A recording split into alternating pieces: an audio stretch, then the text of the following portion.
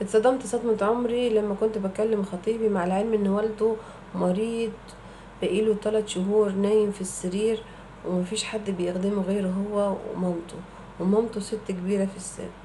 المهم هو اتعصب وقال لي اقفلي وأنا فضلت على السماعة.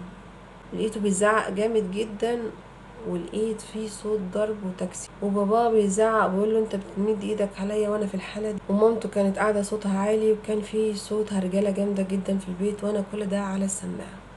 يا حلاوتك. وطبعا هو كان فاكر إن أنا قفلت وما سمعتش الشتام والزعيق. ده كله. من ساعتها أنا ما بردش عليه في التليفون. ما ينفعش ترد عليه أصلا خلاص. ده ده باب يتقفل ما يتفتحش تاني. مش عارفة أقول لأهلي ومش عارفة أسيبه ولا أكمل.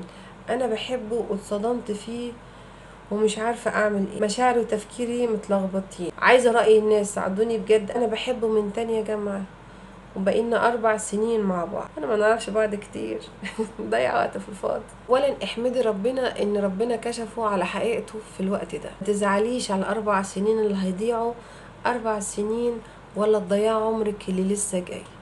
افهموها كده بنات وولاد. خدوها قاعدة ثبتوها في مخكم بنت وولد. اللي ملوش خير في أبوه وأمه ملوش خير في أي حد. اللي ملوش خير في أهله ملوش خير في أي حد. يمد ايده على أبوه يضربه. عارفة يعني إيه أبوه؟ حتى لو مش بيحبوا المشاعر بتاعت ربنا محدش هيقدر يحاسبك عليها. تحب أبوك أو تكرهه دي مشاعرك أنت محدش هيقدر يحاسبك عليها. بس مش من حقك إن أنت تمد إيدك عليه. هو في وقت ضيقته بيمد إيده على أبوه. تخيلي انت مثلا لا قدر الله لو تعبتي ولا ولا حصل لك أي حاجة ولا لسه خارجة من ولادة فاتحة قيصرية مش قادرة تقومي من مكانك. هيضربك لو طلبت منه حاجة؟ هيسيبك ويمشي؟ هيقولك خلاص بقى هي مش فاضية دلوقتي هي تعبانة انزل أنا أقلب رزقي مع أي حد؟ ما ينفعش. احمدي ربنا إن انت عرفتي الكلام ده بدري ما تدبستيش واتجوزتي. ابدأي حياتك مع شخص محترم. ولا حرام إن إحنا نروح نشوف الخطيب؟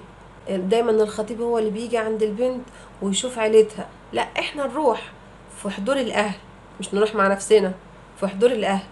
نروح نبص على بيتهم. بابا بيتعامل مع مامته إزاي؟ بيحترمها ولا لأ؟ هو بيحترم أهله ولا لأ؟ خلي بالكم من النقط دي لأن إحنا اتعلمناها. إحنا اتعلمناها من نفسنا. محدش جه علمها لنا أنتوا دلوقتي جاي لكم معلومة على طبق من ذهب إحنا اللي خدنا الصدمة. إحنا اللي خدنا الصدمة ولبسنا بمعنى أصح.